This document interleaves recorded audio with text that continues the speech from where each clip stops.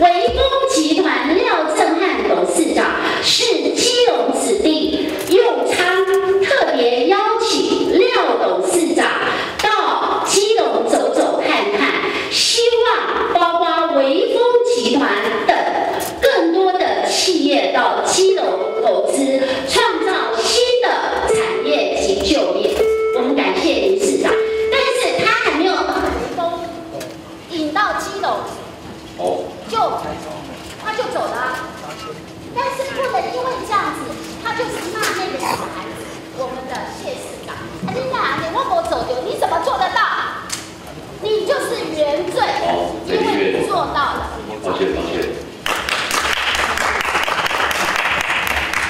无党籍基隆市议员吕美玲的质询获得市长谢国良和市府官员热烈掌声。这个侧翼左翼一直上网，一直在攻击我们基隆市政府，我搞不清楚这是不是叫做二党先亏欠，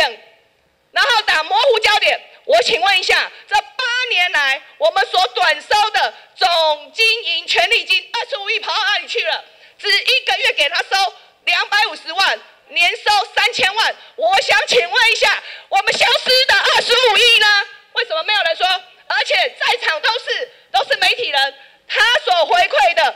一每个月他可以至少七年，每小时一百二十秒帮我们基隆市做广告，至少七年我们回馈的金额高达一亿三千四百万，为什么没有人说？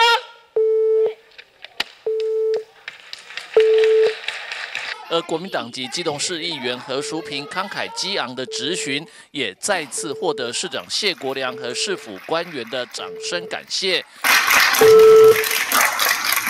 东岸商场争议备受社会关注，基隆市议会议员质询时，不仅不同立场的议员针锋相对，质询时被询的市长谢国良和市府官员，更好几次为市府说话的议员们鼓掌。立场不同的民进党议员也不甘示弱，也特地为质询市政府的议员许瑞慈鼓掌。也是在今年的二月五号，我们基隆市政府才去申请登记产权，但你二月一号就已经破门而入，表示你无法佐证你现在合法的拥有产权，是否就动用警力。市长，你昨天说你身为人类，你能不能加强你对于人类的尊重？市长，你说你身为快乐的成年人，你可不可以不要让别人成为不快乐的成年人？以上。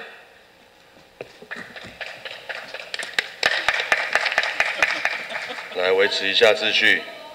双方直球对决，气氛浓厚，而主持会议的议长童子伟只能要求双方维持议场秩序，委婉制止议场内鼓掌的行为。再来，最后市长不可以羞辱，同意，百分之百同意。市长，二月二十三号，你说二十四小时之内，如果林彦昌不跟你道歉，你要去医院自省，因为你没有吸毒。现在过了两百六十四个小时了，你还没有去医院自省。来，这边送你一个放简体的器具。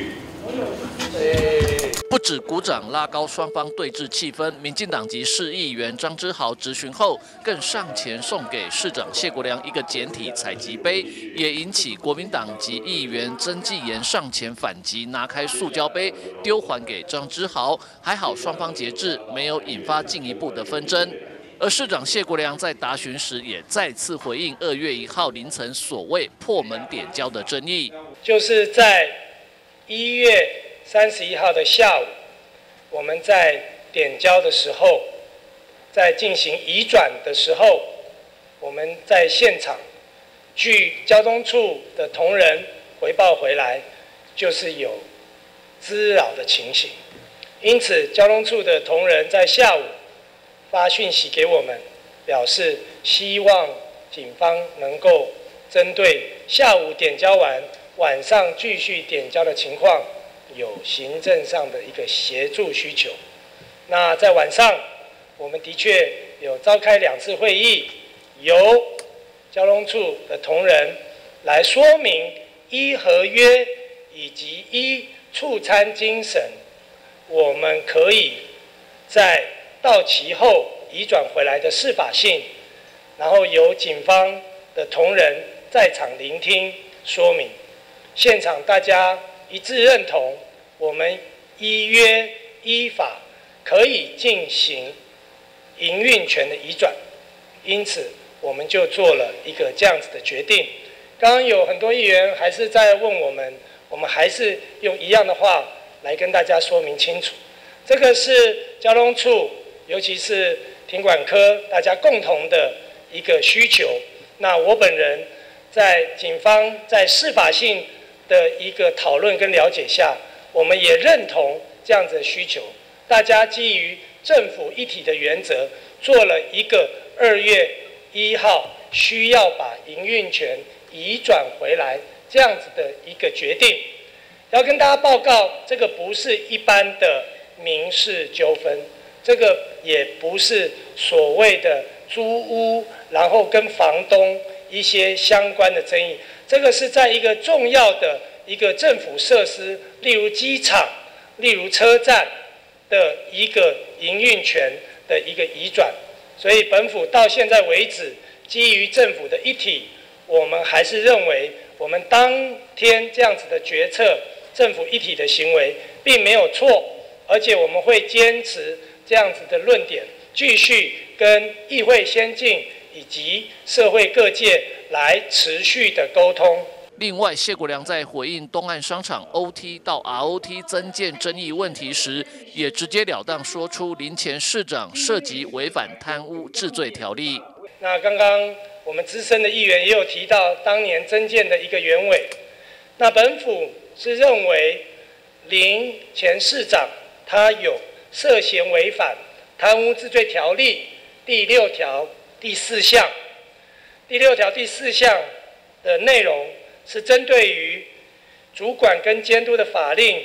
法律授权的规规定、法规命令，哦，直接或间接图自己及发他人不法的利益。那我们为什么会这么说？我们可以说明的非常清楚。其实也是在后来，我们跟这个大日提告我我方市政府诉讼当中，我们才看到。当年，Net 主妇服装以及大日所定的合约，他们所定的合约是在一百零六年一月份就已经将 Net 跟大日的权利义务关系界定清楚。那个时候还没有任何增建的会议，在座的各位当年讨论了很多 OT 为什么转成 OT。O.T. 为什么增建的一个这样的原委，也还没有任何的定论，他们已经就定下了这样合约，定下了这样的合约以后，再由大日出面来跟基隆市政府来进行 O.T. 的一个案子的一个促餐的移转，在触川移转后，然后才引进了 Net，在他们早已知情的情况下。来进行增建的动作。刚刚我们资深的洪生勇议员把增建的合理性说得很好，就是那个地方只有一楼啊，那为什么不把它增建起来，让大家好做生意呢？可是他的说法却积极的构成了林市府团队犯罪贪污的构成要件，就是他们明知已经有这样子的一个商业行为。他们却用有这样的需求来作为一个理由，来进行一个这样子增建的动作，却有刻意的规避掉了 ROT 一个最基本的精神，也就是 OT 的一个范围是不能够随便增建或移转。这也是为什么不管是议会做决议，或者不管是否去请教促参司，结果回来的时候。都是依本权责办理，他不会准或不准，就像他要你是否自己扛责任一样。很巧妙的，他们在合约上已经清楚的定定，让他们的权利金在一亿以上可以收到百分之五十。可是现在大家都已经看得非常的清楚，事实上这八年来，即便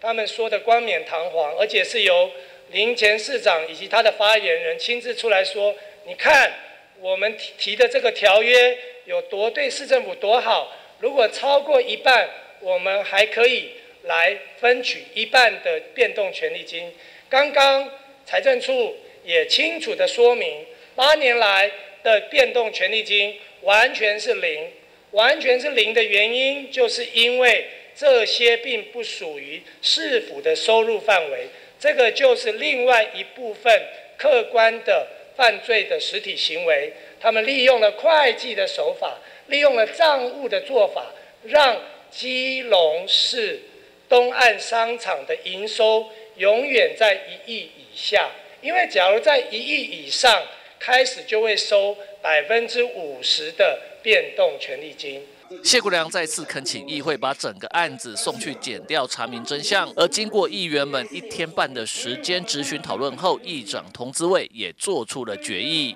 第一点，公平公正，有关本案点交过程所衍生的争议，是否应检讨？也并提升法治意识，务必依法行政，慎行公权力，以维护机关尊严。第二点，透明公开。东岸广场经营权争点引发社会大众瞩目与关切，是否需加强透明的政策制定与沟通，并引以为戒。避免避免对本市投资环境造成负面影响。市府所提出之公共政策，应符合市民期望，并维护其权益。未来有关本市之出参案，请市府务必广纳各方意见，为决策提供更全面之依据。第三点，沟通协调。市府与本会都应该以更客观、专业的态度去处理争议议题，理性探讨问题，以促进良好的政策辩论与公共决策。本市东岸商场议题攸关我们市民利益与福祉，本会作为监督机关，将持续关注本案后续处理情形，是否？应与相关厂商进行良性沟通与协调，以确保本案能获得完善之处理，从而维护基隆市民的利益。第四点，此外，请市府政风处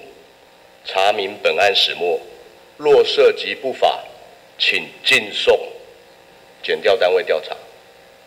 并请交通处。在今日下午两点，